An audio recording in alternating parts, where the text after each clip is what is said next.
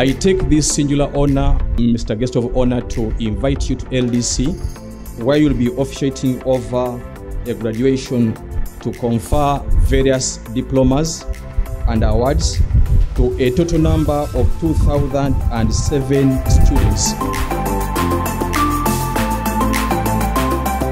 I just want to say thank you to all those who have supported LDC. Our development partners and uh, the sectors to which we, we belong.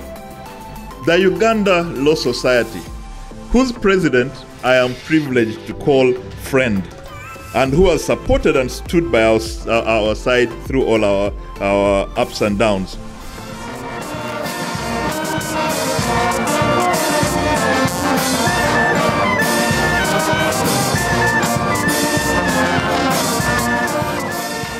Your business right now, the clients you need right now, are on the borders and the outskirts of Uganda. As they build cities, I can tell you that those in Lira need to target the route that goes to Congo, Sudan, because that is where the money is. Lastly, please be teachable. Embrace technology, embrace learning, and be humble. Thank you very much.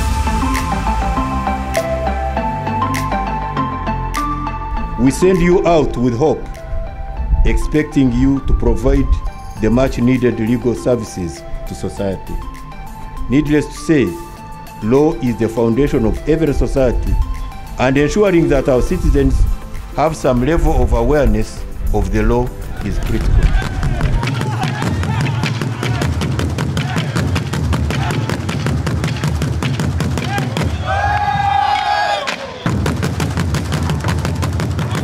Prepare and over prepare. I don't need to emphasize that.